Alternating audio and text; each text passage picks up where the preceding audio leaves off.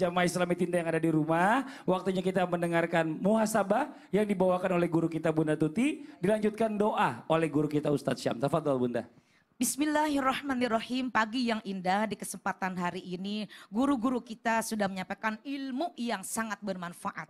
Kaitan dengan hati-hati kena jebakan di dalam berhias ini ditujukan dari awal sampai akhir itu kepada perempuan dominannya ya.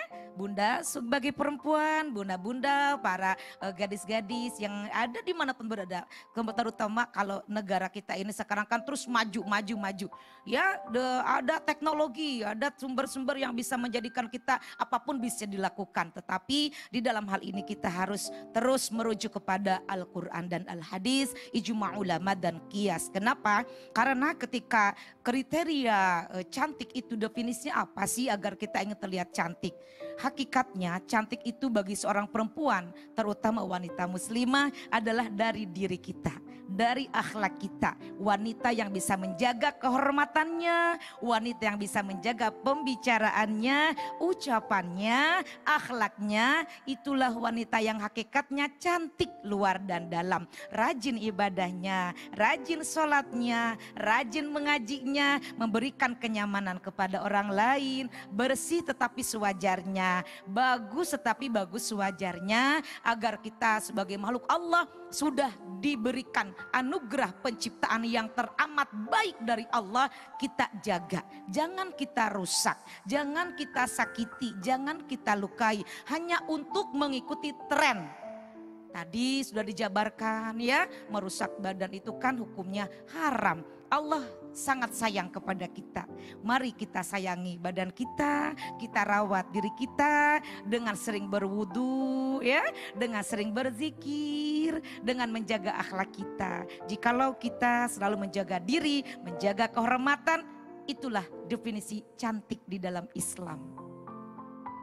Bismillahirrahmanirrahim. Alhamdulillahirrahmanirrahim. Allahumma salli ala Sayyidina Muhammadin Nabi al-Ummi wa ala alihi wa sahbihi wa sallim.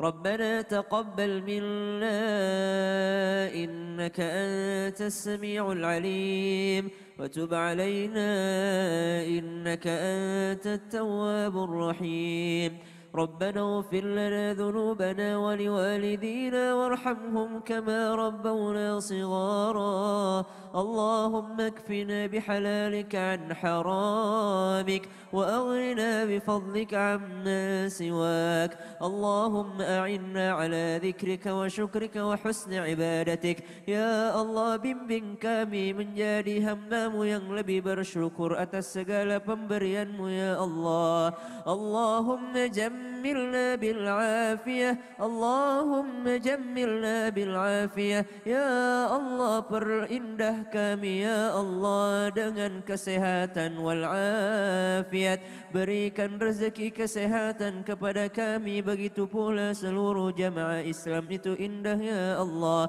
Allahumma rzuqna ziyaratal masjidil haram ya Allah berikan kami rezeki berziarah ke masjidil haram masjidin nabawi wa masjid nabiyuka Muhammadin sallallahu alaihi wasallam dan masjid Nabi Muhammad sallallahu alaihi wasallam wa sallallahu ala sayyidina Muhammad walhamdulillahi rabbil alamin. Amin amin ya rabbal alamin. Alhamdulillah demikianlah perjumpaan kita hari ini. Sekali lagi mohon maaf atas segala kekurangan. Wabillahi taufiq wal hidayah. Wassalamualaikum warahmatullahi wabarakatuh. Waalaikumsalam warahmatullahi wabarakatuh. Salatullah